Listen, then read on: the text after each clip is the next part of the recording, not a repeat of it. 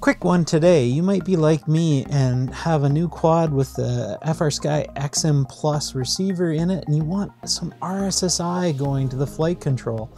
Well, today we're going to flash the receiver with new firmware and see if we can get that working.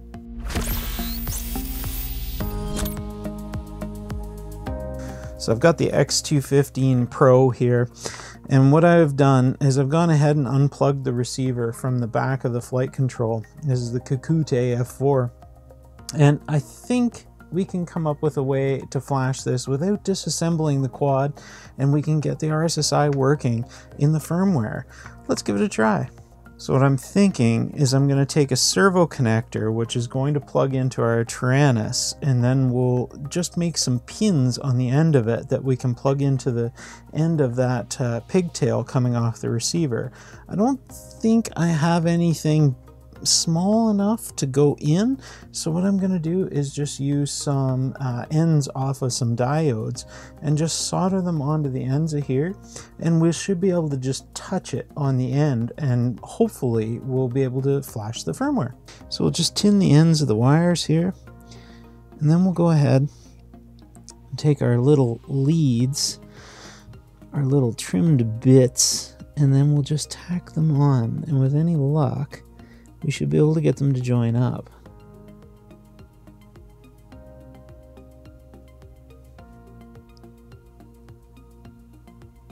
Now we have three little leads that we can just sort of hold on the end of that wire. So it looks like we have a little bit of a mismatch because on the transmitter I know I need to go uh, black, red, white, which is ground, power, then signal. And we have them inverted here. So we're going to need to twist them. And what I think I'll do is I'm just going to hot glue these. Yeah, I think that'll work. I think just to avoid some shorts, I'm going to go ahead and use some heat shrink tubing on here. And that way we can have these wires close together and we won't have anything short together. I think it'll be handy for a long-term use of this pigtail.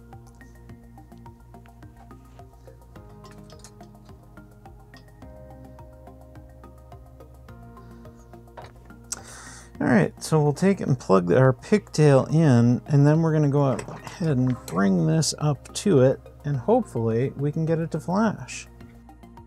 Now to download the firmware, I just did a simple Google search for the the FrSky XM Plus and the RSSI. From there, just click the link to the FrSky website and you'll be able to download the firmware.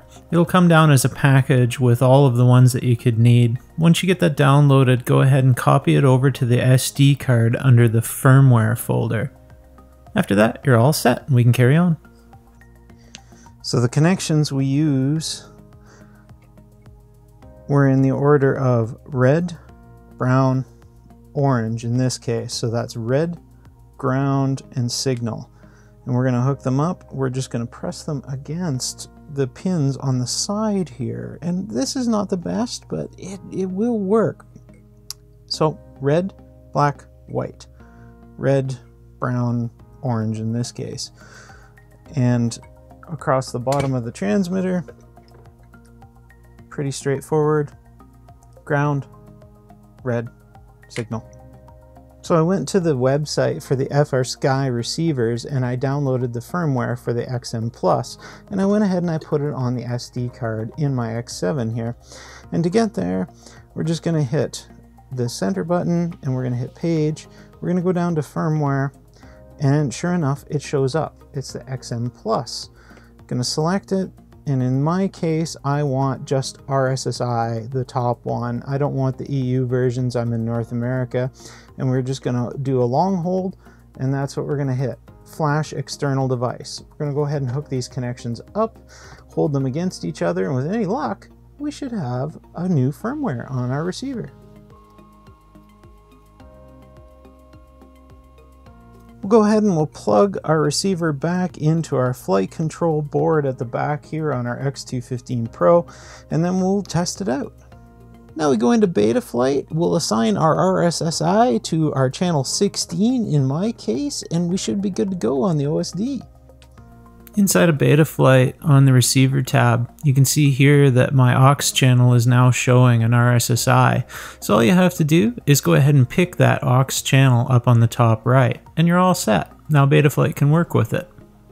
In the CLI, you can also do set RSSI, and you can manually set it or just verify your settings there.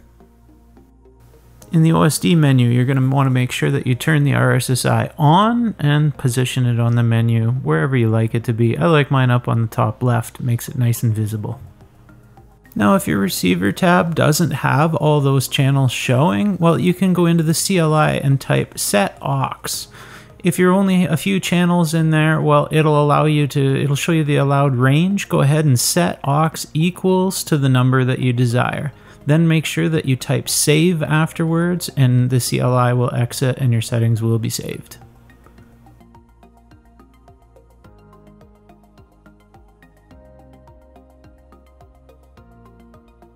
Go ahead and power it up and we're going to have RSSI available on the channel.